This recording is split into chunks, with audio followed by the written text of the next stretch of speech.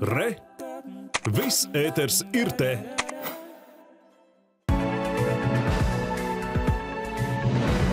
Добрый вечер. Атмосферное давление в Латвии уже постепенно начало повышаться, и этой ночью ожидается малооблачная погода. Только в самом начале ночи на востоке страны еще возможен небольшой дождь и мокрый снег. Ветер умеренный, северный, северо-западный. При прояснениях столбики термометров опустятся до нуля минус 4 градусов. В прибрежных регионах чуть теплее, плюс 1, плюс 3.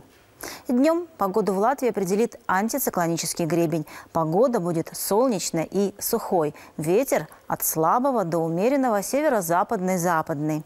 Максимальная температура воздуха плюс 7, плюс 12 градусов. На побережье прохладнее, плюс 5, плюс 9.